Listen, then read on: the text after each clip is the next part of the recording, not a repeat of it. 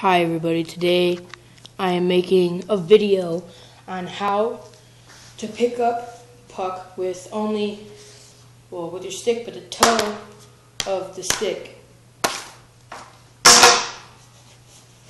Get out my gloves, my hockey gloves. So what you want to do in this, in this, you want to um, the toe of your stick on the far side of the puck and get it up like that. So every single time when you start it, you will go like that. And this is how you do it in sort of a slow down motion.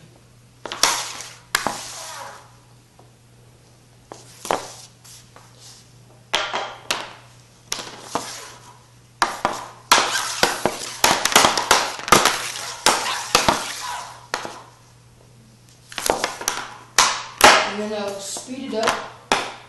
Motion of it would be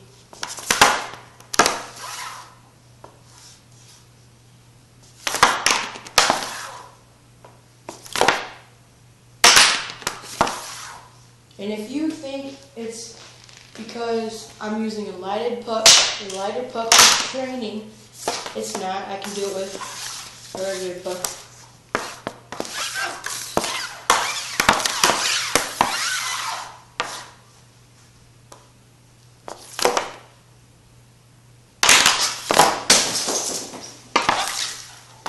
And what you want to do is, I'll explain it one more time.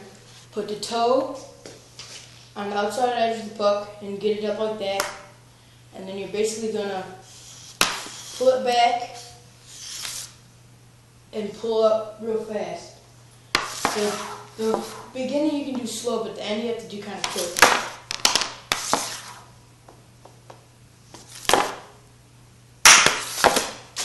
And that's all I have to do. All, that's all I have for you in picking up the puck. Goodbye.